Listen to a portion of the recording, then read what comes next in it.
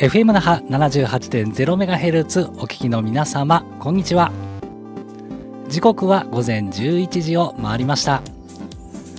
毎週土曜日お昼のひとときでお送りします i ネットラジオ。今週もスタートのお時間です。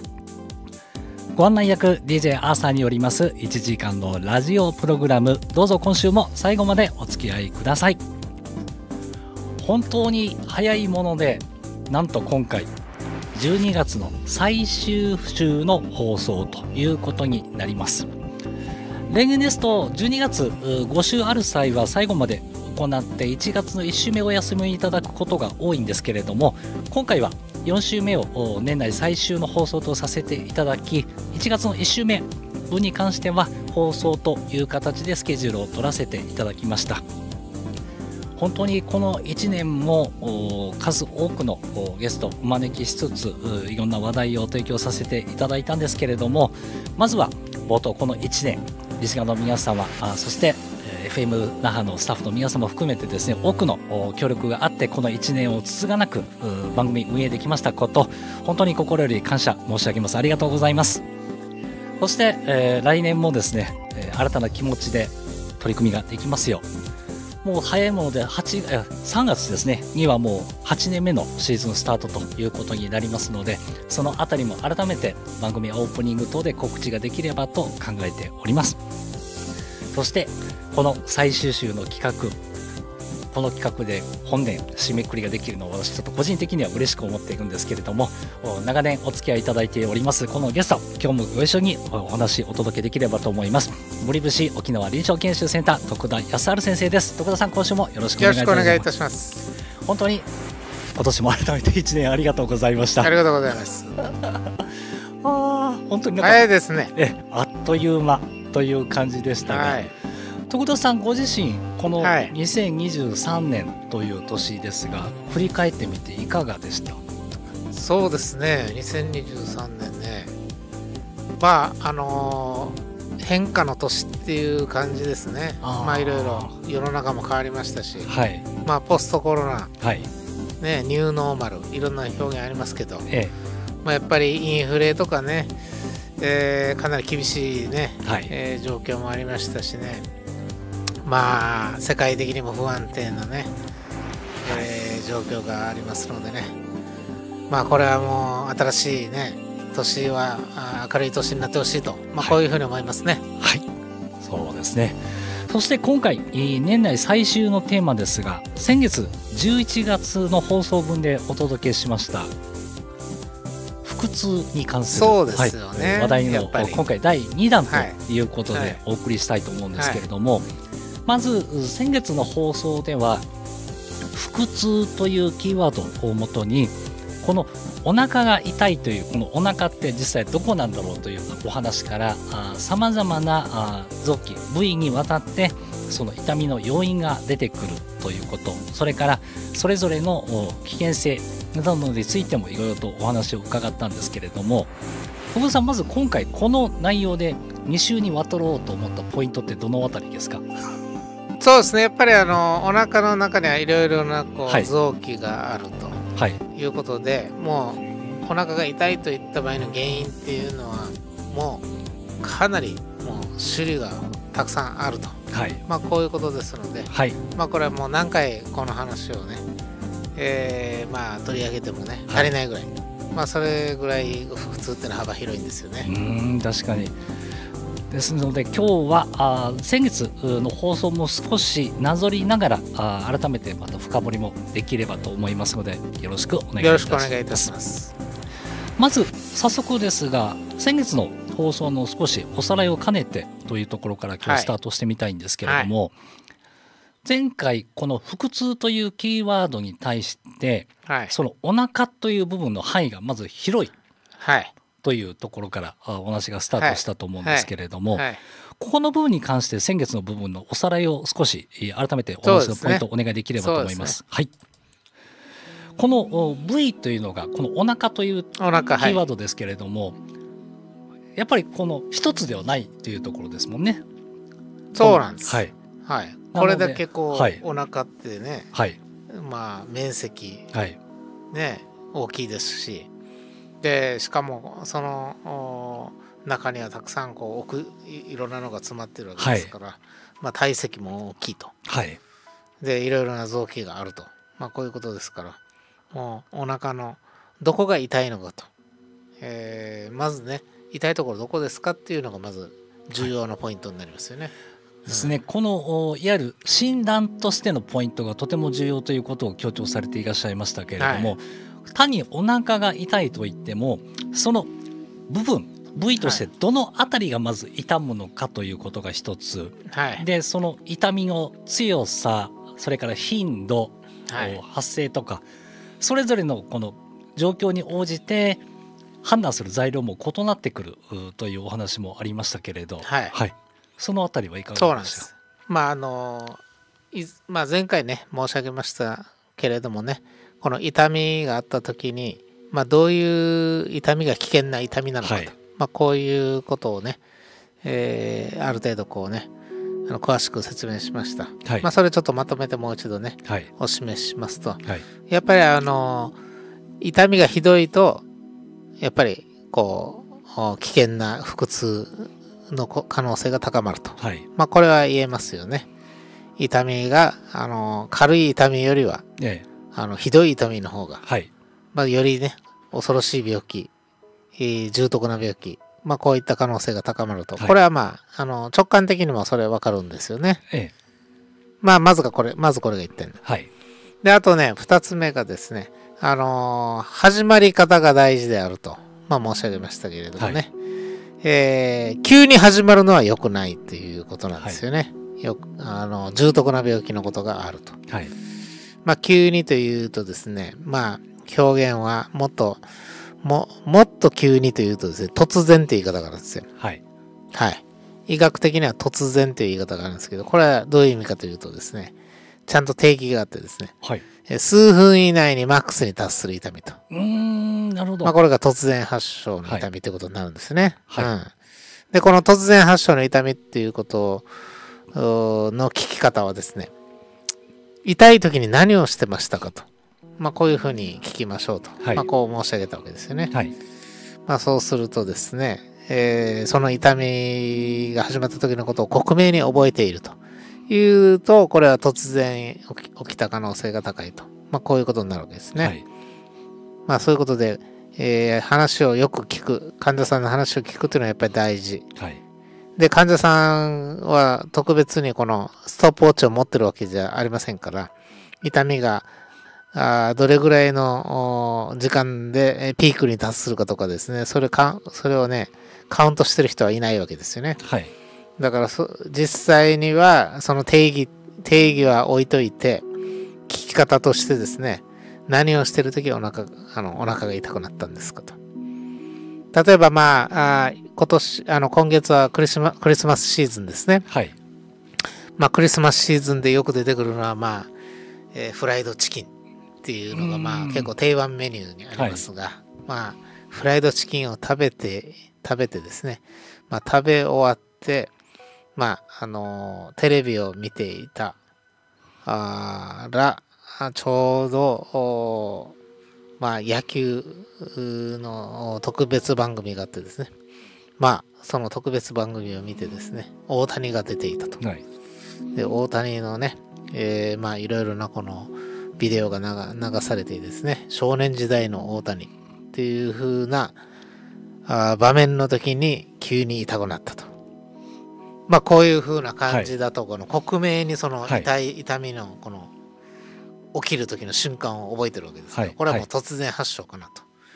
まあこういうことになるわけですね。はい。うん。まあですから、あそういう場合にはですね、あのー、重篤な病気を考える。で、これですね、えー、言い方があるんですけれども、そのお腹の中にある臓器がですね、えー、いろんな病気、病態にですね、を起こすんですけれども、はい、お腹が痛くなるときは、何かが詰まる。何かが破れる、はい、何かが裂ける、はい、何かがねじれる。まあ、こういうことなんですよね。まあ、そういうふうな、あ表現をすると分かりやすいんですけれども、例えばですね、えー、血管が破れるとかね、はい。まああね怖い話ではありますけどどうしてもそういうのありますからね腹部大動脈瘤破裂とか。まあそういうのはあの血管が破れると。はい。あるいはですね血管が詰まる。この腹部大動脈の枝。重要な枝がたくさんありますけど。もうその枝が詰まるってね、うんまあ、その時もはい。やっぱり突然に起こると。はい。まあこういうことですよね。はい。まあそういうのが突然発症とまあこれがまあ2つ目のポイントですね。はい。で3つ目はですねやっぱり痛みがずずっとあの続いてる方がですねあのー痛みが止んだりまた出たり止んだり出た出たりよりずっと続く方がやっぱり重い病気のことが多いですよね、ううん。ん。重篤な病気。はい。ということでまあ痛みっていうのがどうなんですかと。ずっと同じように続いてるのかそれとも波があるのか。波があるとしたらこれ一旦ゼロになったりすることもあるのかと,、とかですね。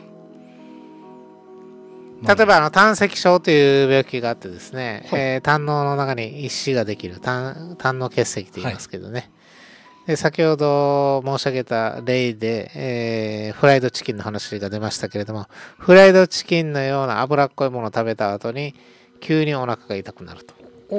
突然のこともあるんですね。はいはい。やっぱ脂っこいものを食べるとですね胆のが収縮しようとするんですよ。強く。はい。消化酵素あとか、えーしあの消化に必要なあ液体をですね、えー分泌するっていうのが胆のの仕事ですから。はい。胆のの中に胆の、えー胆汁っていうのが入ってるわけですね。はい。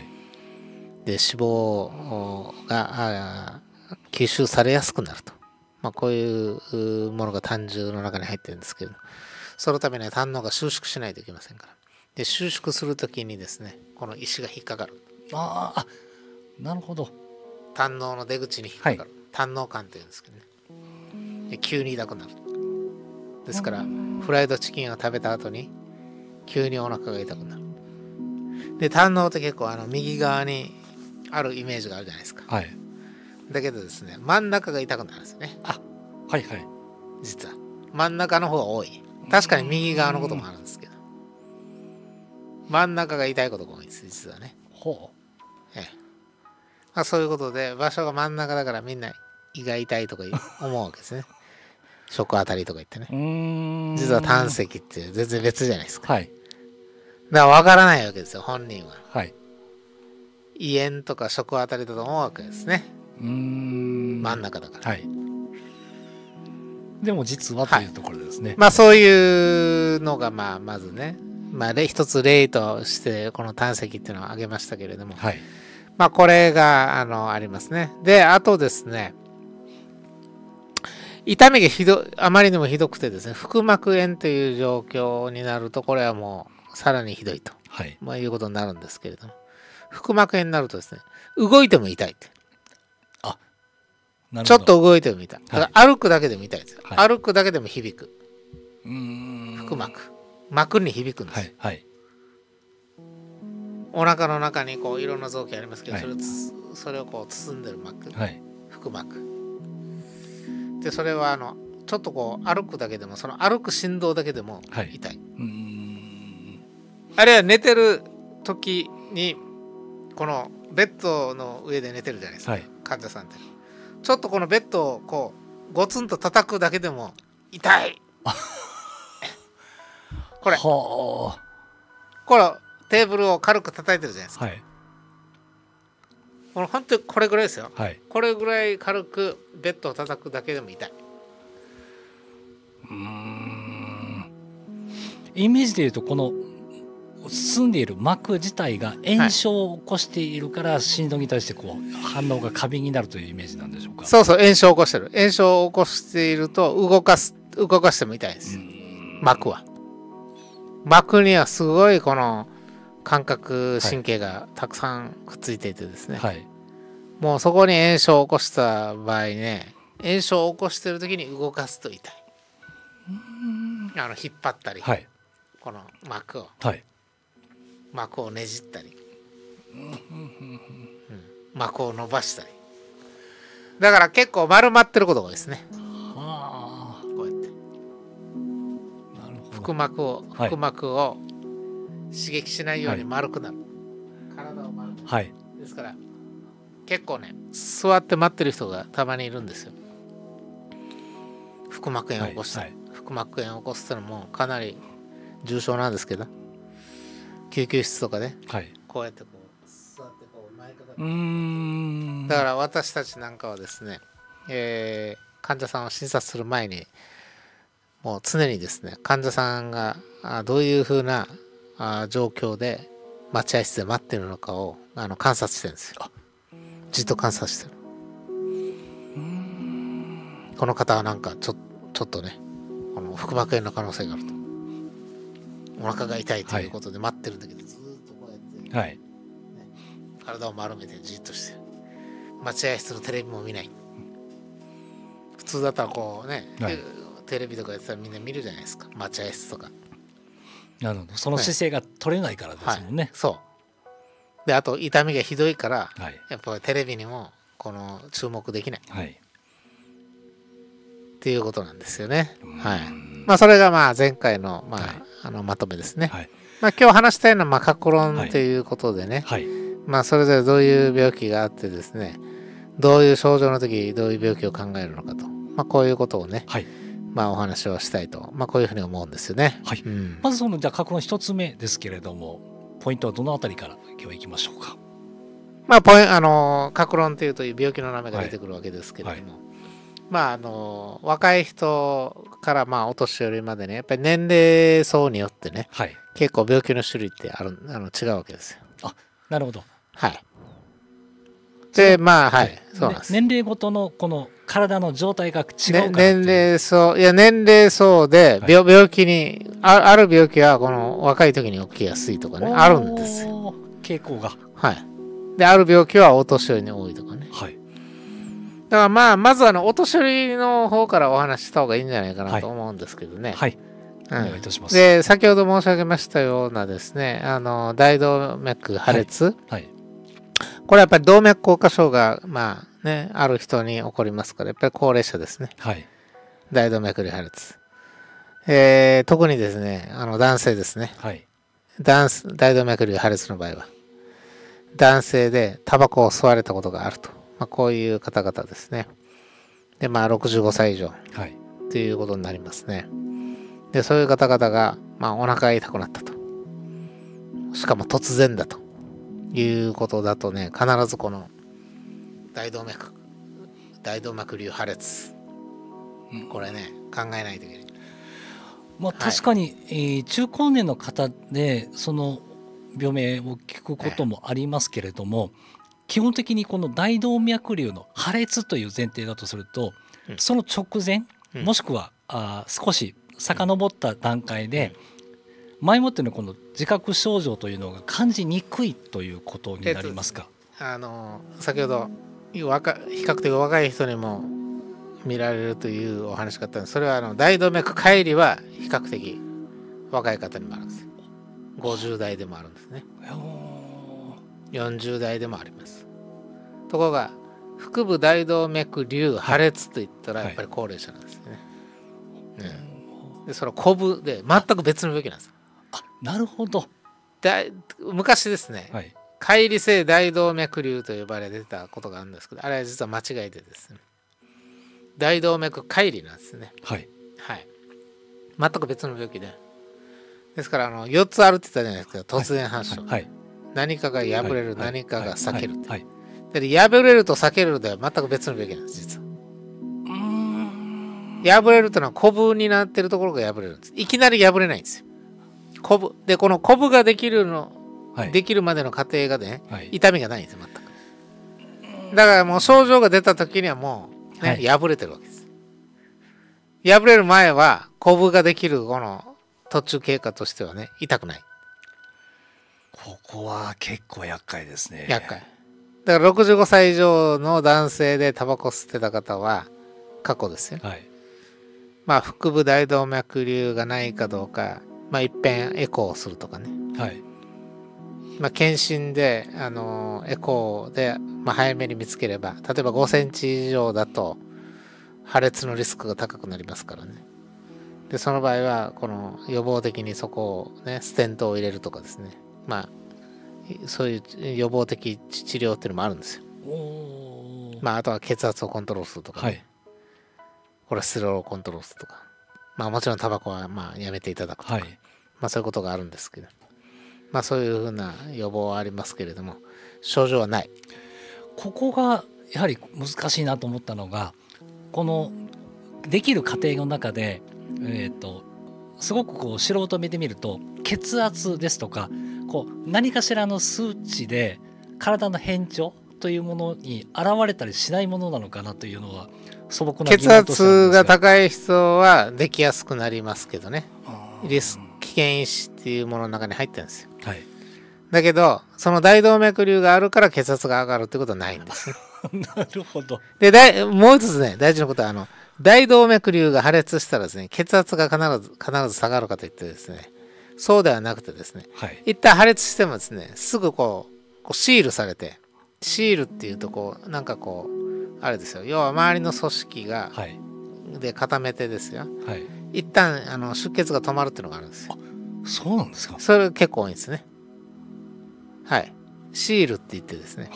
でシールした場合は血圧下がらないですからね。一旦やっぱりあの破裂した時には、はい、やっぱりそれ大量に出血するじゃないですか、はい、そして血圧下がるじゃないですか。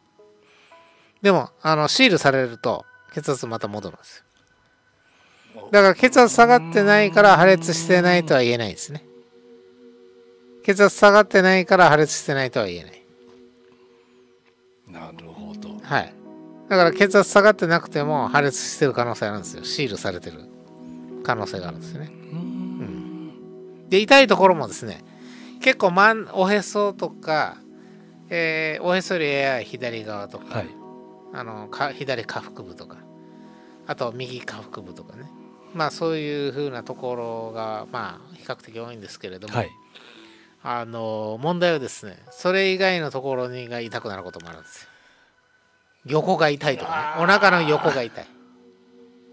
例えばお腹のここですね、はいはい、横、はい、左側腹部って言いますか、ここ。であるいは右、あるいは背中あるいはこう鼠径部って言ってね、股のところ、まあ、そういう場合はですねあの誤診のリスクが高くなるわけですね。横が痛いったら尿管結石とかね、腎結石ってあるじゃないですか、それと紛らわしいじゃないですか。うん。うん。紛らわしいんですね。うん。ですから、うん。それ、まあ、腎結石でしょうかっていうと、危ないと。じゃあ、それを防ぐためにどうするかというと、まあ、さっき言ったあの、エコー。はい。エコーは人間ドックでも有用だと、まあ、申し上げましたけど、この破裂したかどうかっていうのも迅速にエコーをすると。言うとですね、結構あの見つかったりするんです。あの、わかる。はい。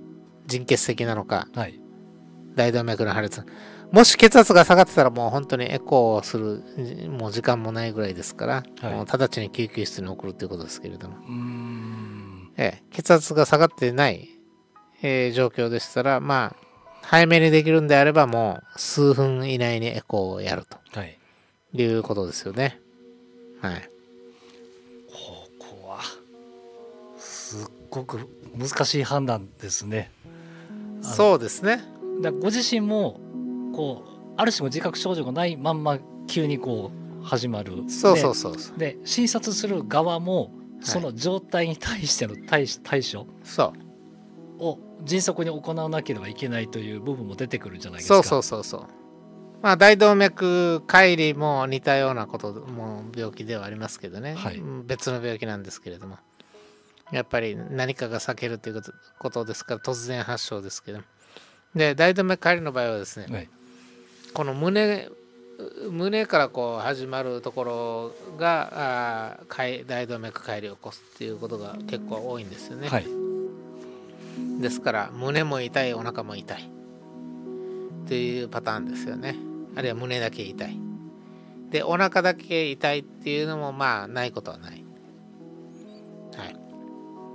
まあそういうことで、はい、大動脈の病気っていうのはもう怖いし緊急性が高いので、はい、一番最初にまず申し上げたわけですね。特にその危険因子がある人、はい。はい、高齢者。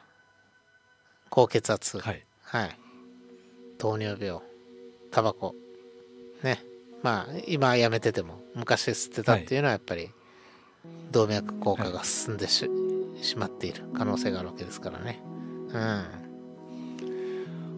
うん、確かにそうですよね。あのまあいい意味でこう体のう内側って、まあ、いい意味での浄化ができるかというと やっぱり長年の蓄積はいね対してのこう対対処療法じゃないですけどはい短期間で治すっていうのは難しいお話ですもんね。そうそうそうで、えー今血管の病気の話したんですけれどもはいその大動脈の枝っていうのがやっぱりたくさんあってそそれがあの腸ですね。はい。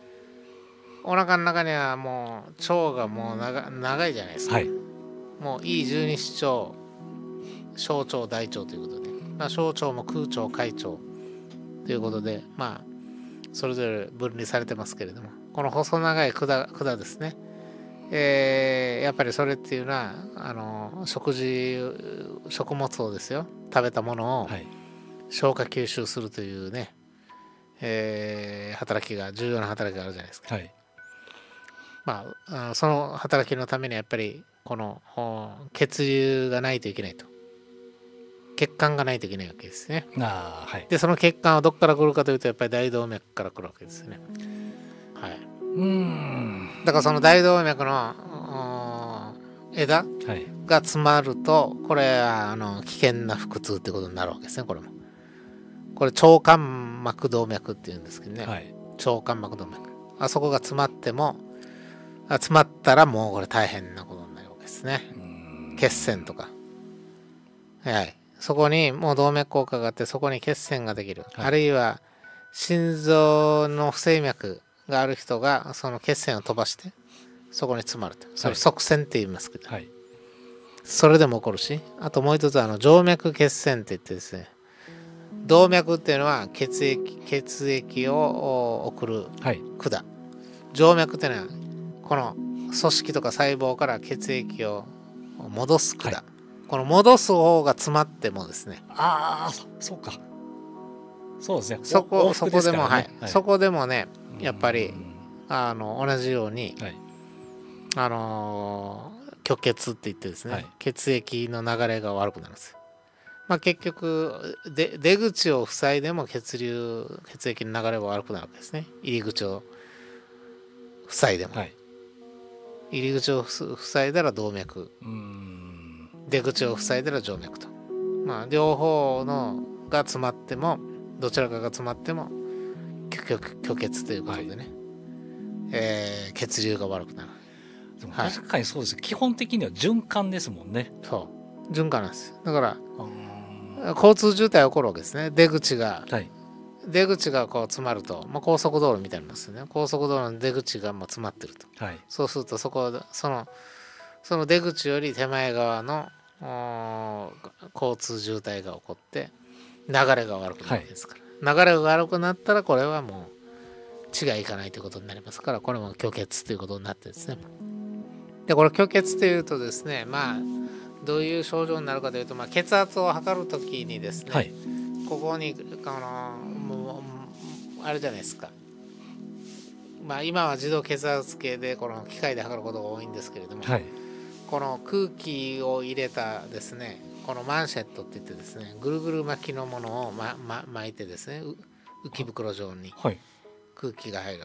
でこれにこの中に空気を入れるわけで、ええ。ね、シュッシュッシュッシュッって。はいそうするとですねなんか手の先がねしびれてああはい。くるじゃないですか。はいはい。で色も悪くなるじゃないですか。色が蒼白になるじゃないですか、これどうしてかというとこの血圧より高い圧を加えてるわけですから。このマンシェットで。はい。そうするとこのマンシェットよりこのお末梢側って言いますけど、はい。その先の方のお細胞とか組織っていうところにですね血がいかなくなるとで血がいかなくなるとですねこのお酸素とかはい。栄養分っていうのはこの、その血液から供給されるわけですから、この血液ががいかないっていうとですねこれはもう死活問題なんうです、ん。はい。もうすぐにもう症状が出ますからね、はい、だから痛い。だからお腹のこの腸,、腸間膜動脈って言いますけど、まあ、腸間膜静脈もそうですけどあの詰まったら、はい。あのーやっぱり。痛い。でそれがまたね突然。やっぱ血管が詰まるってことですから。発症がやっぱり突然なんです。突然のことが結構多い。はい。腸の血管はい。が詰まる。腸間膜動脈閉塞って言ってですね。これはやっぱりねリスク高いですうねん。でこれ診断が遅れるとねはい。腸が壊死を起こす。真っ黒に。あはい真っ黒になるんです。血がいかなくなると、でこの真っ黒のままそのまま置いといたらこれはあの菌がついてですね、えー炎症を起こして、はい。腹膜炎を起こしてしまいます。で、えーそこから敗血症を起こしてもう命に関わると、死亡率高いんですね。うん。だから黒くなったらもう切除しないといけないとはい。腸管切除って言いますけどはいですからこの血圧測る時のマンシャットのようにですね、まあ、もうしびれが出てきて色も白もう蒼白になった。でこれを剥がしたいっていう、はい。オフのボタンを押す押したいって思うじゃないですか。はい。シューっていうことで楽になるじゃないですか。ところがお腹の血管になんか詰まったらですよ。それそういうふうに簡単にスイッチがあるわけじゃないじゃないですか、はだからどうするかというとカテーテルを入れてそこの血栓を取り除くとか溶かすとか。だあはい。から今は手術しなくてもそのカテーテル治療っていうのもできるようになりましたけど。はい。あのこの細いものをこうそうそうカテーテルっていうのは管ですね、はい。細い管です。石灰部分をこう小さくしはい。て通していく技術の細い細いだと思管を入れてまあ大体わあのー鼠径のねはい。股の血管に、えー管を入れてねそこからこう大動脈の中に管を入れてそその大動脈から出てくる枝。はい。枝までその管を持っていってそこから造影剤っていうのを入れてどこで詰まってる詰ま詰まってるか見つけてつ詰まってるところに、はい。えー血管を溶かす薬を注射するか、まああるいはこうねあのーそれだけでなくその金属でこうね肩こはい。う入れとくとか、まあいろんな方法がありますしあの血栓をそのまま回収するという血栓回収療法っていうのもあります、まあ、最近は脳梗塞でも血栓回収っていうのをやってるんですけどあそうなんですね。回収すると、はまあ、ゴミの回収みたいなもんですけどね。回収ということで。あいわゆるこう挟み込んでそのままひえー引っ張っていくえというイメージ。ー吸引ね、はい。吸引。血栓吸引。血栓回収療法って言いますけど、なるほど。うん、でそれもねやっぱりゴールデンアワーゴールデンタイムってのがあるわけですやっぱり時間が過ぎるとはい。真っ黒になる、真っ黒になったらいくら回収してもその腸ははい。蘇らない。結局切除しないといけないということになるわけですね。これ先ほどのこの腸管をいわゆる切除した場合ですけれど、うん。この間をつなぎ合わせるん。場合って、単にその切り離した両側をつなげればいいっていう問題ではないんですか？それともなんか間に挟む？この切り取った部分に対して切除？はい。ええだから切除した場合はあのーもう黒くなってる時は完全に切除してはい。で、えー、綺麗なところ綺麗なところをつなぐ。あやっぱそういうことなんですね。つながないといけないですよ。このまま。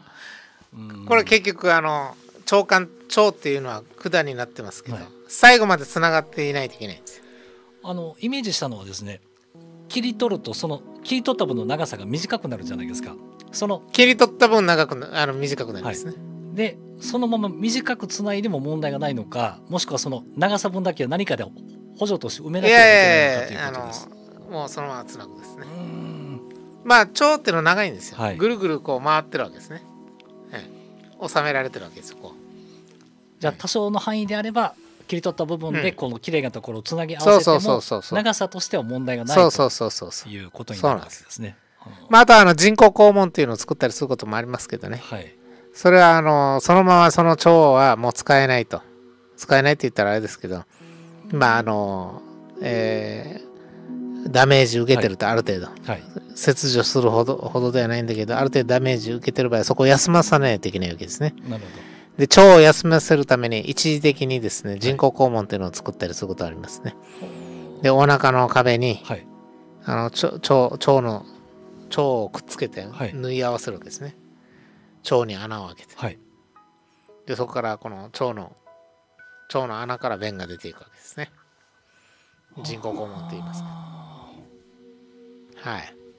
なるほど。やっぱそうするとこの時間とその部位の状態に応じてそうそうそうそうそうそう対処する方法も変わってくるという。一番大事なのはやっぱりあのー早くこう見つけるってことですから、はい、もう夜でも受診するってことですね。う。んさっき言ったあの突然発症、はい。はい。でどういう人たちかというとやっぱ心房細動。ね。心房細動がある人がやっぱりリスク高いですから、うん。で心房細動の人多いんですよね。ところ実際そうなんですかええ。で、でも、70代、80代の方っていうとかなり多いですよね。10%ぐらい、20%ぐらい、心房細動の人いますからね。なるほどうん。もうこれはやはりこの年齢に応じてこう体のはい。状態がこうやっぱり維持しにくくなっているからこそそういう症状に陥りがちということになるんですか？し心房細動ですか、はいえっとね、心房細動の原因っていろいろあるんですけれども、えまあ、あの、有名なところでは弁膜症ですよね。心臓の中心臓の中には4つ弁があるんですけど、はい。ととにかく弁弁が、あの、こうね、ちゃんと閉じないとか、はい。便が硬くなってるとか、まあ、そういうのを弁膜症というんですけどでそうするとそれこう心臓に負担がかかるんですね。その便の機能が悪くなると。はいでそれでまあ心房細動っていうのは左心房の症状なんですけれどもね、はい。左心房の病気なんですけど左心房が大きくなる。でこれ左心房と左心室っていうのの間に僧帽弁っていうのがあるんですけど例えばこの僧僧帽弁になんか病気があるとはい。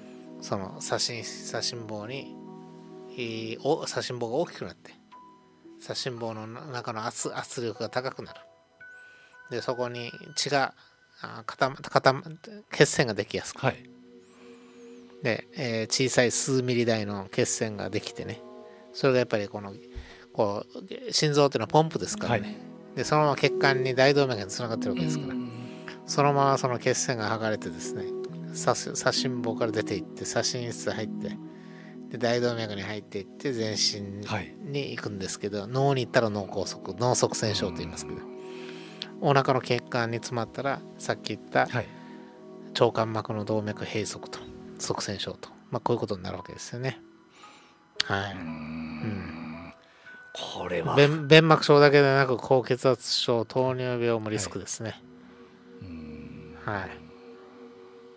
ですから弁膜症糖高血圧はい。糖尿病、こういった病気っていうのはまあ多いですけどでも先月の話題でもそうでしたけれどもやはりこう腹痛というこの一つのキーワードから派生するやっぱり全身にいろんなところにこう多岐にわたっていくじゃないですか。えやっぱこの仕組み自体を知っているのと知らないのとではすごくやっぱり大きな差があるんだなっていうのえはそうなんです。改めてだから心臓に病気がある人がお腹にこういう恐ろしい病気を起こすってのはあんまり知られてないですね、うんじゃないですか。はい確かに。こんな恐ろしい病気でしかも早く病院に行かないと腸が真っ黒くなるよというね、はい。ことはあんまり知らないじゃないですか。だけどあの我々からすると非常にこれふよくあるんですよ。よく見るんですね。はい。ええ。だからこれはねやっぱりこのラジオのねあの視聴者の方にもやっぱりね、知っていただきたいなとこういうふうに思うわけですよねそうそして、えー先ほど若い方に関しては大動脈瘤解離という一つ。まあ若いというかあの比較的っていう意味です、はいはい。大動脈瘤破裂っていうのは65歳以上って言ったじゃないですか,、だから大動脈解離もまあもちろん高齢者に多いですよ。な80代70代、60代もそうですけど。ただもっと若くてもいますよっていうことでね。うん。一般的にはこれでも高齢者ですよこれも。大動脈解離もそうなんですね。ただあのー珍しいことにね、はい。よくこれはわからないんですけれども女性に多いんですね比較的。大動脈解離は。だから女性で血圧が高い方っていうのは要注意なんですね、大動脈解離今のところこう科学的な要素としてのこの男性女性としての傾向みたいなものというのはまだ立証されていない状況なんですか？うん、なぜか男女差があるんですね。まあ男女差がある病気っていろいろあるんですけどね。まだあの完全に解明されてない部分ありますよね。大動脈解離がなぜ女性が多いかっていうのはまだ分かってないと思いますね。この乖離の場合もこの自覚症状のイメージは破裂と似たような形ですか？それとも避けるような痛み。突然に起こる。で、その痛みが移動するっていうのがね、典型ケースですね。はい。右の胸から左胸、そして背中、腰、お腹みたいな。痛みが移動する。この避けるような痛みが移動する。この移動する理由っていうのは？やっぱり避けるわね、こうやって。この大動脈って長いじゃないですか。はいはい心臓から出てみ一旦この右側に行って右上に行ってそこから回り込んで。あ。かちょっとこうやって回り込むんですでそこから後ろ側に行って、左体のひ向かっ体自分の体の左側に移動して今度はそのまま下に下がる。あのそうすおると腹の下。このまで。避けるイメージってある特定の場所だけではなく避け続けていくというイメそうなんでージ。っていうイメージ。あもうこんなに長く避けるんですよ。何十センチって言って。もうこんなこんなですよ。こんな。ー。え恐ろしい話ですよね。ーこの避ける範囲が広がっていくのはやはり血流の関係なんですじゃあ結局それ避けるから避け避けたらこれ管ができるわけ。もうもう一つ義空って言うんですけど。はい。本当の管本当の大動脈の管を真空って言うんですけど、はい。真の空だから、で避けて避けたところに血避けるとですね血液が入入り込むんですね。ああはい。でもう一つ空を作ってしまうんはいですよ、はいこれ義空って言うんですね。はい、あ偽の空、はい。空空空ね。はい。偽のトンネル作ってる。だから避けてしまって偽のトンネルができちゃって、はい。そこそこに血液どんどん入ってっちゃう。はい。だけどこれ偽の管だから、はい。そこからあの重要な臓器はい。に血流をこう供給するっていうのがなかなか難しくなる。だからいろいろな合併症を起こすんですね。脳梗塞も起こすし、はい心筋梗塞も起こすんですけど。あと手手足はい。の血が行きにくい。あと脊髄ですね。はい。でさっき言った腸間膜。動脈。そこの虚血もありますね。うーん。これは。はい。まあどちらの症状にとってもやはりこう緊急性が高くかつより正確な診断が必要になってくる要そうなんです。素ですね。はい。まあだからこれ大動脈も腸間膜動脈閉塞もですね、はい。まあ本当に血管の病気っていうのは怖いですよ痛い。ただあの診察のですね、はい。このまあポピットホールっていうことなんですけれども押して痛くないんですよね。あんまり。え血管が破れたり血管が裂けたり血管が詰まったりね。はい。あるいはこう血が血の流れが悪くなるとかね。ええ。そういう場合あの押したら痛いって思うじゃないですか。あんまり押して痛くないんですよね。それほど。うーん。そこがまあまあ厄介といえば厄介ですね、じゃあご本人の中で何かこう異変がっていう時はもう結構な状態になってからでないとわからないということにいやいや本人にとっては痛いでいやす痛い。はい。本人は痛いんだけど問題はね医者側の問題があるんですよ。あそうか。医者が診察してこう押し押して痛いですかってやるじゃないですか、はい。診察、はいお腹の場合に。でこの押して痛いですかっていう時にあんまりその押し押しても一緒ですよ。押す押しても押さなくても痛いんですけど。普通はですね腸の病気だったら、はい。押したら痛いんですよ。中水炎ってあの盲腸と言われてるのあるじゃないですか、痛みがより強くなるという。そこに病気があるところを押したら痛いんです。よ普通は病気があるところを押したらもともとの痛みよりひどくなるんですね、はい。はい。ところがあのこの腸管の虚血も大動脈の破裂もそうですけど痛いとその破れてるところとか詰まってるところとかですね避けてるところを押しても痛くないんですよ痛くないというか痛みが増強しないんです。よずっと同じ痛痛 痛みがずっと続いてるだけなんです。よだからこれ騙されやすい。虚血でもう一つ、まあ、特別なもので卵巣はい。腫瘍の粘点っていうのがあるんですけど、これはまあ女性ですけどね、はい。先月ちらっと話題に出ていたはい、それもねね、卵巣の腫の、ね、経粘点っていうのはこうくるくるっとこうはい粘点筋ですか。それで問題なのはですね血管がこう粘点してですねこの血液が行きにくくなるんですよ、はいはい。血流が。血流が落ちるんですよ。あれもねやっぱり押しても痛くないですねあんまり。その卵巣に血がいかなくなってるんだけど、はいはい。そこを押してもあんまり痛くないわけですね。その卵巣がぐるっと回ってこの血管が、はい。血管がねじれてるわけですから、ねじれたら流れが悪くなるじゃないですか。うーん。確かだにけどその卵巣を押しても痛くないです。だからそこをエコーとかではい。押しエコーで卵巣の腫瘍がありますねちょっと痛いところにそういうのがありますねって言って指で押してもですね痛くないわけです。痛みが増強しないわけです。よなぜかというと虚血だからです。虚血はあんまり痛くないんですね。これがね落とし穴これで騙されてる人が多い。でしかも CT でもですね、結構あの造影 CT っていうのを取らないと分かれない分かれないはい。っていうのがありますし、まず虚血の場合は。はい。えーまあ分かることもありますけどね造影しなくても。で造影しても分からないってことなんですよ。はい。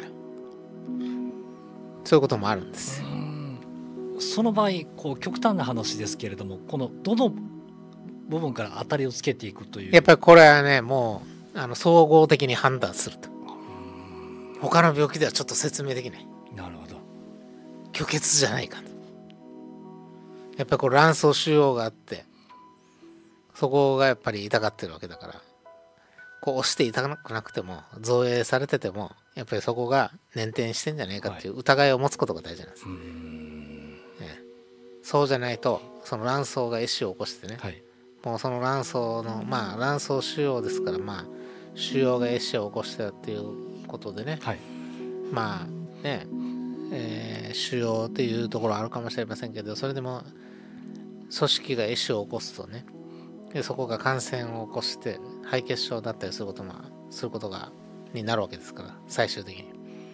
やっぱり切除ってことになりますから。うん。早く切除しておいた方がいいですよね壊死を起こす前に。確かに。壊死を起こすと、まあ、あの体中にね菌が回るようなはい。肺血症を起こすことがあります。はい、元気だった人がですねいきなりこういう卵巣脳腫がですよねじれただけで命に関わる病気になることがあるわけですよ。はい、突然発症って怖い、はい。はい、血流に注目せよと、まあ、こう言いたいわけですね。うんうんまあでも返す返すこの企画でさまざまなテーマ角度からお話いつも伺ってますけれどもおやっぱりまずは自分自身の体、まあ、状態を全てではなくてもどういうまあ最低限の仕組みとか状態であった方がいいということを知った上で専門家の方のアドバイスをこう踏まえながら一つ一つ自らの生活習慣というのを整えていく重要性ってものすごくありますね。そうなんです。まああんまり脅かすつもりはないんですけどね。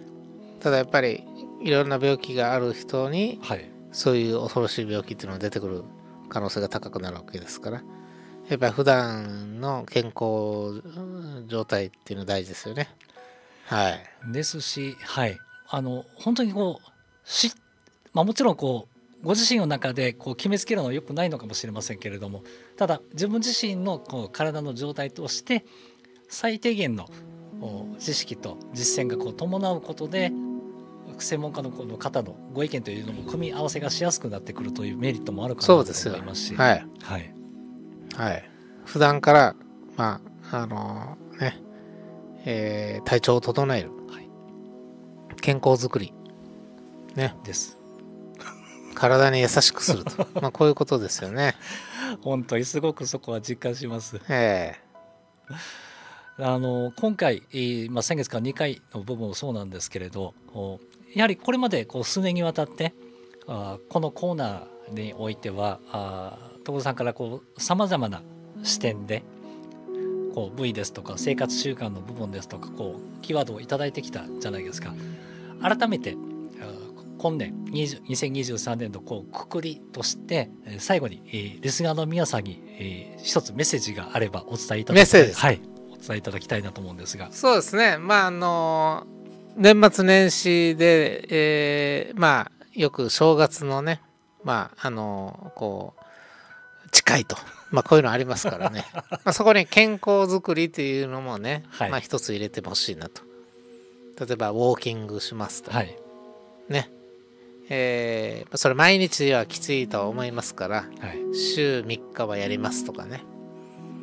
あるいはあのきっぱりとタバコをやめますとかお酒を減らすとか。